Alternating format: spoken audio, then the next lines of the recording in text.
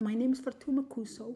My daughter, Zahra Adam Boule, the eldest of my five children, went missing Friday, May 26, 2023. 12 days later, her husband of 18 years had been arrested and charged with the first degree of her murder. But I'm not here today to speak to the what, the why, and the who, and the where, and the how of the case. That I'm going to leave it to the criminal justice system, and hopefully, justice will be served one day.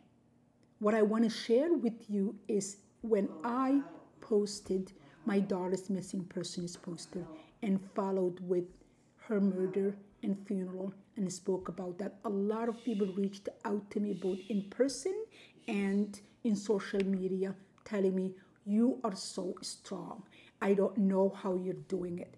Trust me, I said those same things anytime I visited parents that lost their child to car accident, health situation. I would think, how is this mother or this father standing around arranging burials, funeral services for their child? How are they walking around? How are they getting out of bed? So I understand when people say that, but trust me, this has nothing to do with strength. I am not stronger than any other mother that this tragic loss could have happened to. And my days are divided by the hours, and I try to get through the hours and feel my way through this haze of grief that lifts at one point of the day but comes back again. But I'm here today to share with you the reason that's I am speaking out. If it's not strength, then what is it? It's this deep seated anger, this deep seated rage, the feeling of my daughter had been failed by the medical system. And what I mean by that is every time my daughter had injuries, and I always asked, Can I tell you my side of the story? Things that my daughter might not tell you. Can I add to the story that my daughter told you? I wasn't asking for anybody to tell me what she had said because I knew what she said because she told me it. But what I wanted to do was to add to things that I knew she might not share. Maybe she was embarrassed, she was trying to fix the relationship, to go back, to take care of this person that she loved and was loyal to. But I had no loyalty so I could tell things as I heard them from her, as I saw them with my own eyes. But I was always told, no, we cannot take your story, we cannot edit her file because we have to protect her privacy. What privacy? I'm not asking you to tell me what she said. I am telling you what I know so you can add to it. You can hopefully give my daughter a full risk assessment of telling her if this happened today and this happened yesterday and this could happen tomorrow, then this is where this is headed. Would that have saved my daughter? I don't know. But what I know is we were let down. My daughter was let down by a system that said privacy, and I failed to see where is that privacy? If I am not asking you to tell me what she said, how are you breaking that privacy? I don't know. So, ironically, all those files that I couldn't add to became mine as soon as my daughter was murdered at 36, her life cut short. Those became mine. Now I needed to give consent to this agency and to that agency for them to access a file that I wasn't allowed to add a sentence to. If you're listening to this video, does that make sense to you? Do you see that as something that makes sense? If I'm not asking you to tell me what she had said, I'm just giving you more information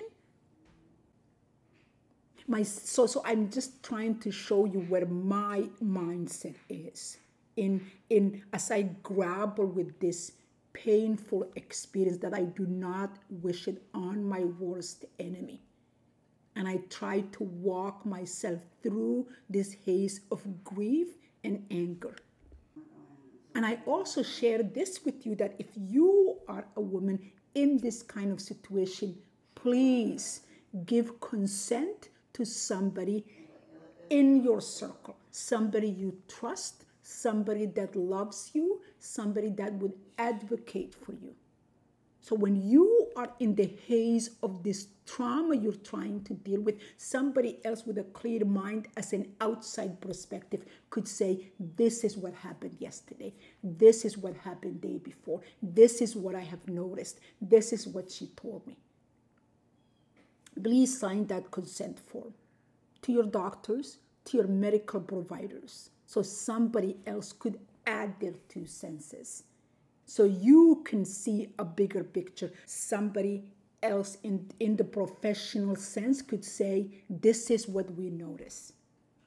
And if you have a woman in this kind of situation in your life, please encourage them to sign a consent form. Please have this person um, to, to have somebody that could advocate for them when they cannot advocate for themselves. We all would get into a place where we cannot advocate for ourselves. And hopefully we would have somebody else in a clear mind could advocate for for us because I have my mother in her 90s that's living with Alzheimer's and I am her advocate because she cannot advocate for the, for herself and that's where all of us are at some point in our life needing an advocate no matter what the situation.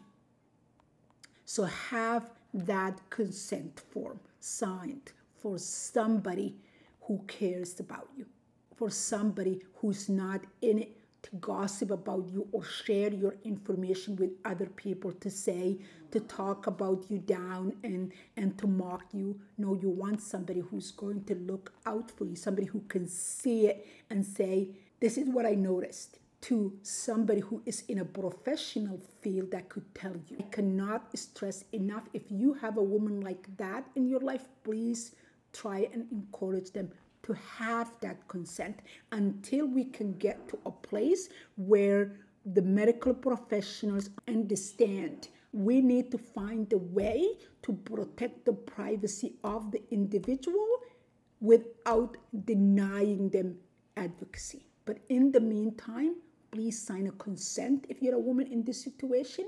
And if you know a woman in this situation, encourage them to sign a consent form and take care of each other. Thank you.